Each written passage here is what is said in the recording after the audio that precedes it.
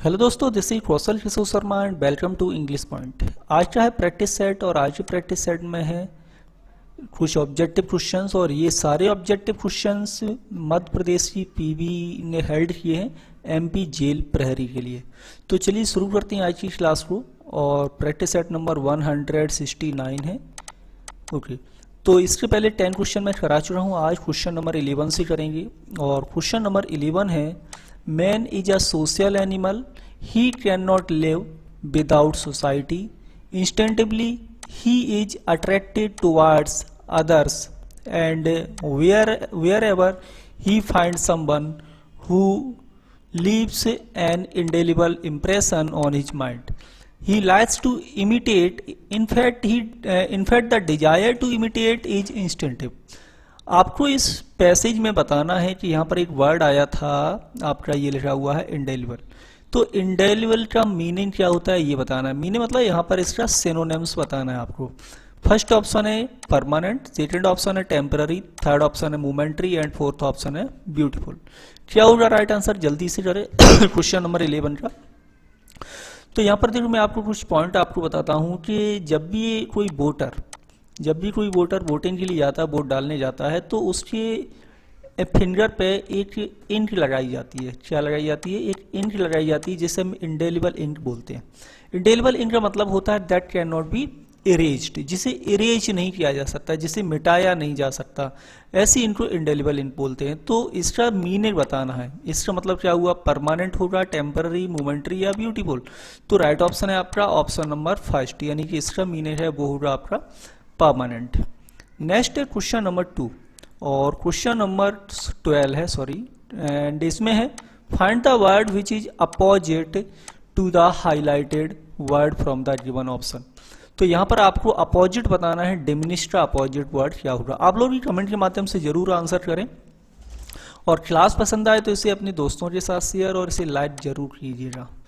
Okay तो diminish का क्या बताना अपोजिट बताना है फ़र्स्ट ऑप्शन है इंक्रीज सेकंड ऑप्शन है डिक्रीज थर्ड ऑप्शन है डिक्लाइन एंड फोर्थ ऑप्शन है डिस्टेंट तो राइट ऑप्शन इसका क्या होगा जल्दी से कमेंट कीजिए क्वेश्चन नंबर ट्वेल्व का। तो इसका जो राइट ऑप्शन है, ये है आपका अपोजिट होगा डिक्रीज और इसका इसका अपोजिट क्या होगा डिक्रीज होगा ओके नेक्स्ट सॉरी इसका, अब ये तो सिमिलर हो जाएगा डिमिनिश का ये सिनोनिम्स हो जाएगा अपोजिट होगा इंक्रीज फ़र्स्ट ऑप्शन राइट होगा यहाँ पर, ठीक है? फ़र्स्ट ऑप्शन राइट होगा इंक्रीज चलिए, नेक्स्ट है question number thirteen. Question number thirteen में है आपका, कि find the word which is opposite to the highlighted word from the given option जो ऑप्शन दिए गए उसका अपोजिट बताना है, जिसका डिसीज डिसीज मीन्स क्या होता है? डिसीज मीन्स होता है बीमारी, ठीक है? और ये आपका इस सेंटेंस में, ये वर्ड जो लिखा हुआ है नाउन है। सेंटेंस नहीं है, ये नाउन है। डिसीज क्या है? नाउन फ़र्स्ट ऑप्शन है इलनेस तो इलनेस इसका क्या हो जाएगा? सेनोनेम्स हो जाएगा। आपको क्या बताना है? अपोजिट बताना है। सेकंड ऑप्शन है हेल्थ थर्ड ऑप्शन है प्रॉस्पेरिटी फोर्थ ऑप्शन है सिकनेस तो राइट ऑप्शन क्या होगा? क्वेश्चन नंबर थर्टीन का, ये होगा right option option number B यानी कि हेल्थ इसका अपोजिट वर्ड होगा।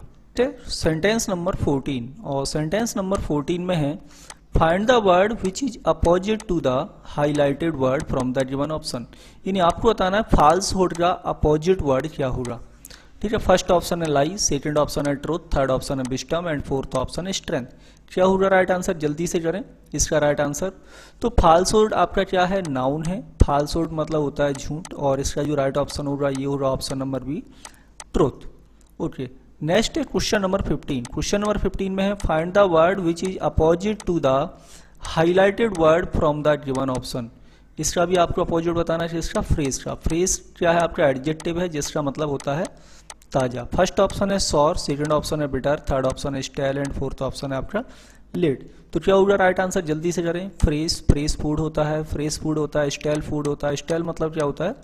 बासा। सॉर मीन्स होता है आपका खट्टा। बिटर मीन्स होता है कड़वा स्टाइल मीन्स बासा होता है एंड लेट मीन्स देर से। तो राइट ऑप्शन कौन सा होगा? ऑप्शन नंबर सी स्टाइल होगा क्वेश्चन नंबर 15 का राइट ऑप्शन नेक्स्ट है क्वेश्चन नंबर 16 क्वेश्चन नंबर 16 में है find the word which is opposite to the highlighted word from the given option यहाँ पर आपको फिर से बताना है अपोजिट वर्ड क्या होगा? और आपको अपोजिट बताना है जनरल का। जल्दी से कमेंट करें क्वेश्चन नंबर सिक्सटीन का। राइट ऑप्शन क्या होगा? जनरल जनरल मीन्स क्या है आपका? नाउन है। जनरल सॉरी एडजेक्टिव है। जनरल हो जाएगा आपका सामान्य। ठीक है? फ़र्स्ट ऑप्शन है कॉमन तो जनरल और कॉमन क्या हो जाएँगे? ये आपके सिनोनिम्स हो जाएँगे। सेकंड ऑप्शन है पर्टिकुलर कोई चीज़ जनरल है, यानी कॉमन है और कोई चीज़ पर्टिकुलर है। कन्वीनियंट या लोकल क्या होगा right answer question number sixteen का तो क्वेश्चन नंबर सिक्सटीन का जो राइट आंसर होगा, ये होगा ऑप्शन नंबर बी यानी जनरल का अपोजिट होगा पर्टिकुलर क्लियर है? कोई डाउट हो तो कमेंट के माध्यम से ज़रूर पूछें। नेक्स्ट है question number seventeen question number seventeen में है find the word which is most similar in meaning to that given word और आपको बताना है न्यूमेरस न्यूमेरस का आपका सिमिलर वर्ड बताना, यानी सेनोनेम्स तो न्यूमेरस मीन्स होता है ट्राई है ना? अलॉट ऑफ़ फ़र्स्ट ऑप्शन है आपका फ़र्स्ट लेस सेकेंड है फ्यू थर्ड ऑप्शन है मैनी एंड स्टेंटी क्या होगा right answer question number seventeen के लिए जल्दी से कमेंट करें। तो नुमेरस का जो राइट आंसर होगा, ये होगा आपका ऑप्शन नंबर सी ठीक है? और सब इसके अपोजिट हो जाएँगे, इसका राइट आंसर आपका होगा सिमिलर है, ये सेनोनेम्स है मैनी न्यूमेरस का।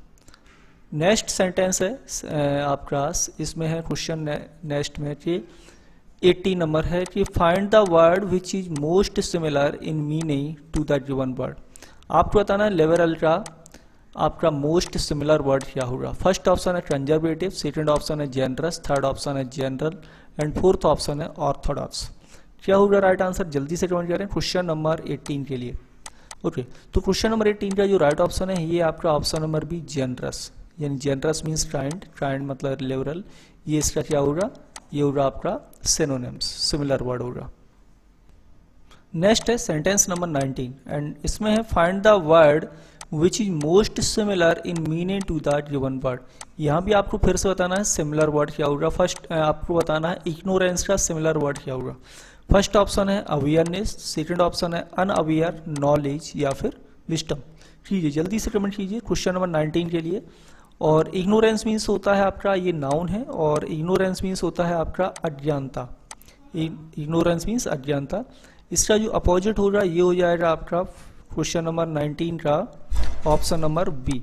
सिमिलर बताना है तो अनअवियर हो जाएगा और इसका अपोजिट की बात करें तो अपोजिट हो होगा अवेयर, अवेयरनेस। ठीक है, अवेयरनेस अपोजिट होगा अनअवियर इसका, इग्नोरेंस का सिमिलर वर्ड होगा सारे के सारे आपके नाउन लिखे हुए हैं नेक्स्ट है क्वेश्चन नंबर ट्वेंटी और क्वेश्चन नंबर ट्वेंटी में देखें तो क्वेश्चन नंबर ट्वेंटी में है, find the word which is most similar. आपको फिर से बताना है, सिमिलर किसका हज़ार का हज़ार का सिमिलर, क्या होगा जल्दी से आप लोग भी कमेंट करें क्वेश्चन नंबर ट्वेंटी के लिए राइट ऑप्शन क्या होगा? तो यहाँ पर हज़ार मीन्स होता है खतरा, है ना?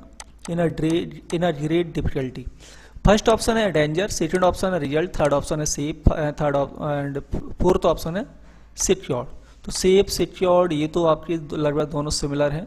राइट ऑप्शन इसका होगा, ये होगा डेंजर डेंजर सिनोनिम्स है हजार्ड का. तो इसके हिसाब से आपका ऑप्शन नंबर जो फ़र्स्ट है, ये राइट होगा क्वेश्चन नंबर ट्वेंटी का।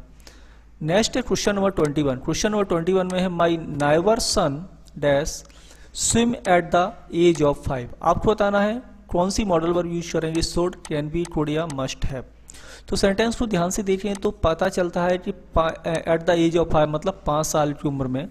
तो पास्ट की बात हो रही है और बात हो रही है तैरने की तो यहाँ पर हम नाइवर के जी क्या बता रहे हैं? एबिलिटी बता रहे हैं। क्या बता रहे हैं यहाँ पर? एबिलिटी और एबिलिटी बताने के लिए मॉडल वर्ब यूज़ की जाती है कैन लेकिन पास्ट की एबिलिटी बताने के लिए हम मॉडल वर्ब यूज़ करेंगे कोड तो राइट ऑप्शन होगा आपका यहाँ पर कोड और इस तरीके से आपका ऑप्शन नंबर सी राइट होगा यहाँ पर आपको कोड यूज़ करना है क्वेश्चन नंबर ट्वेंटी वन में। नेक्स्ट सेंटेंस है सेंटेंस नंबर ट्वेंटी टू और इसमें है I borrow your dress for a day question mark है। और यहाँ पर भी आपको यूज़ करना है मॉडल वर्ड सोड मे मस्ट एंड नीड में से। तो यहाँ पर क्या है, हम किसी पर्सन से कोई चीज़ मांग रही है। क्या कर रहे हैं? रिक्वेस्ट कर रहे हैं किसी चीज़ के लिए। तो क्वेश्चन नंबर ट्वेंटी का इस तरीके से जो राइट ऑप्शन होगा, ये होगा ऑप्शन नंबर मे के और मे के द्वारा हम रिक्वेस्ट करते हैं, है ना? फॉर्मल रिक्वेस्ट भी आपकी मे मे मॉडल वर्क के द्वारा की जाती है। तो यहाँ पर आपका क्वेश्चन नंबर ट्वेंटी टू का राइट ऑप्शन होगा ऑप्शन नंबर आपका बी नेक्स्ट है सेंटेंस नंबर ट्वेंटी थ्री और इसमें है C dash take care of her children और यहाँ पर यूज़ करना और to need dare and ought not तो क्या राइट ऑप्शन यूज़ किया जाएगा? क्वेश्चन नंबर ट्वेंटी थ्री के लिए जल्दी से कमेंट करें। तो यहाँ पर क्या है? टेक केयर मीन्स होता है देखभाल करना किसके बच्चों की।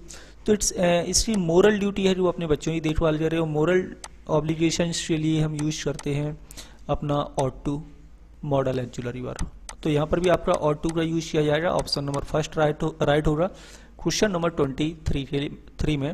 Next question number twenty four और इसमें है he has a great dash her यहाँ पर आपको प्रपोजिशन बताना है attraction for attraction on attraction through या अट्रैक्शन इनटू कौन सा प्रपोजिशन यूज़ किया जाता है अट्रैक्शन के बाद? जल्दी से कमेंट करिए। तो यहाँ पर ये फिक्स प्रपोजिशन आपको याद करना पड़ेगा कि अट्रैक्शन फोर समबड़ी होता है समबड़ी और समथिंग तो यहाँ पर आपको यूज़ करना है अट्रैक्शन के बाद आपका फोर प्रपोजिशन ठीक है? तो राइट ऑप्शन होगा आपका four question number twenty four में। नेक्स्ट है सेंटेंस नंबर ट्वेंटी फाइव और सेंटेंस नंबर ट्वेंटी फाइव में ही इज़ डैश एल्कोहल यहाँ भी आपको फिक्स प्रपोजिशन बताना है कि एडिक्टेड विद होता है या एडिक्टेड टू होता है एडिक्टेड ऑफ़ होगा या ओ डबल ऑफ़ होगा। तो कीजिए कमेंट क्वेश्चन नंबर 25 के लिए बहुत ही अच्छे क्वेश्चन हैं और ये सब फिक्स प्रपोजिशन से रिलेटेड है। जो भी स्टूडेंट फिक्स प्रपोजिशन के लिए बोल रहे थे, आपको इसी तरह से स्टडी करनी पड़ेगी। यहाँ पर आप सेंटेंस के माध्यम से इन चीज़ों को ज़रूर सीखें। तो एडिक्टेड के बाद कौन सा प्रपोजिशन यूज़ किया जाता है? इस ये है आपका right option option number B कि addicted always takes preposition to addicted के बाद कौन सा यूज़ किया जाता है? प्रपोजिशन टू का प्रयोग किया जाता है तो ऑप्शन नंबर बी राइट होगा आपका, इस तरह से यहाँ पर सेंटेंस नंबर ट्वेंटी फाइव में। Next is sentence number twenty six he is completely dash his work आपको बताना यहाँ पर क्या यूज़ करना अपसर्ड एट अपसर्ड ऑन या इन या फिर फोर क्या प्रपोजिशन यूज़ किया जाता है? फिफ्थ प्रपोजिशन है ये भी। तो यहाँ पर भी जो राइट ऑप्शन है, ये है आपका option number C question number twenty six में। क्योंकि अब्जॉर्ड इन का मतलब होता है मर्न होना या लीन होना, है ना? तो राइट ऑप्शन आपका होगा ऑप्शन नंबर सी ये हो जाएगा राइट ऑप्शन यानी इसके बाद आपका इन प्रपोजिशन प्रयोग किया जाएगा। नेक्स्ट है सेंटेंस आपका 27 और सेंटेंस 27 में है। यस सेंटेंस नंबर 27 में the master and his dog dash born the prize were also selected for the international contest ये आपका क्लॉज लिखा हुआ है। क्लॉज में भी रिलेटिव क्लॉज लिखा हुआ है है ना? तो यहाँ पर आपको यूज़ करना है दैट हु या फिर हुम या फिर विच तो क्वेश्चन नंबर सेवेंटी टू में राइट आंसर क्या होगा जल्दी से कमेंट कीजिए। क्या यूज़ करें? तो यहाँ पर देखिए मास्टर एंड डॉग इन दोनों का जो हम यूज़ करेंगे, इसका जो रिलेटिव प्रोनाउन बनाइए तो यहाँ पर आपको यूज़ करना होगा दैट का। दैट बॉन करेक्ट होगा, है ना? तो दैट वॉन द प्राइज यानी ऑप्शन नंबर फ़र्स्ट आपका राइट होगा क्वेश्चन नंबर ट्वेंटी सेवन में। नेक्स्ट है question number twenty eight question number twenty eight में replace the underline phrase with appropriate option आपको बताना है यहाँ पर कि parents have to bear with their children's friends bear with आपकी फ्रेजल बर्ब है। क्या है यहाँ पर? फ्रेजल बर्ब है। और फ्रेजल बर्ब का डिफरेंट मीनिंग होगा बियर विद का या मीनिंग हो जाएगा जल्दी से कमेंट करें क्वेश्चन नंबर ट्वेंटी एट के लिए। तो बियर का यहाँ पे जो राइट ऑप्शन हो रहा है, ये हो रहा ऑप्शन नंबर बी की पैसेंस यानी धैर्य रखना। धैर्य रखना। तो राइट ऑप्शन आपका ऑप्शन नंबर टू हो रहा सेंटेंस नंबर ट्वेंटी एट में।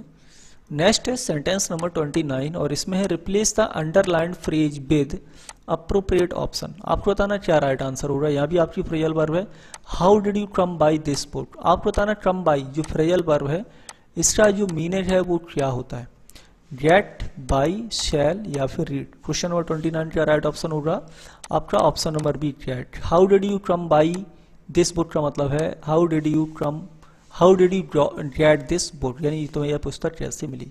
तो कम बाई मीन्स गेट होता है फ्रेयल वर्ब राइट ऑप्शन होगा आपका ऑप्शन नंबर ए नेक्स्ट है सेंटेंस नंबर थर्टी और इसमें है the sun dash in the east and sets in the west बहुत ही सिंपल क्वेश्चन है। टेंस से रिलेटेड है तो कॉमन है। यहाँ पर आपका फ़र्स्ट ऑप्शन है राइज सेकेंड ऑप्शन है राइजन थर्ड ऑप्शन है राइजन या फिर राइजिस तो यहाँ पर बात हो रही है जनरल ट्रुथ की। जनरल ट्रुथ के लिए हम क्या करते हैं? सेंटेंस बनाते हैं प्रेजेंट सिंपल टेंस में। और प्रेजेंट सिंपल का मतलब यहाँ सब्जेक्ट के बाद आपको लिखना है राइज और इसमें थर्ड पर्सन द सन आपका नाउन है। सिंगुलर है तो यहाँ पर आपका ऐसे ही एस भी यूज़ किया जाएगा। तो इस तरह से राइट ऑप्शन होगा ऑप्शन नंबर डी तो आज की क्लास में दोस्तों इतना ही। उम्मीद करती क्लास पसंद आई होगी। पसंद आए तो दोस्तों का शेयर और हमारे चैनल को सब्सक्राइब ज़रूर करें। Thank you thank you for watching this video